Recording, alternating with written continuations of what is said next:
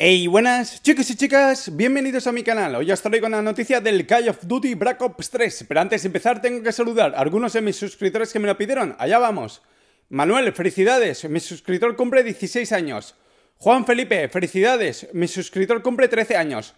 Jorge Rueda, Jerick Morales, Carlos Martínez, Javier Urías, Eduardo Rocha, David Arcón, Jaime Cardel, Luis Ríos, Sergio Pérez, Steven Forero, Ariel Ruiz, Nicolás Labia, Juan Galindo, Israel yo, Omar Velázquez, saludos estáis. Ahora sí, empezamos con la noticia.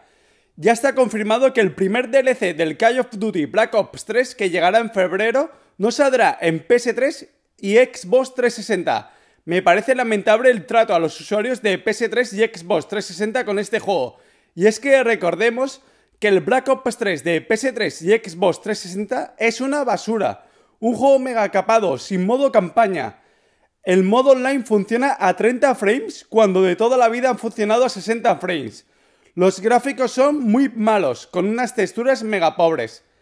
Sinceramente, para sacar el juego en estas condiciones y encima que no salgan los DLCs para PS3 y, Xbox 360, mejor hubiera sido que no lo hubieran sacado.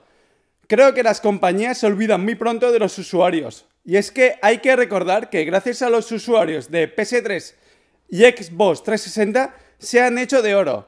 Pero claro, todo esto solo es pura estrategia de las compañías para que te pases a PS4 y Xbox One.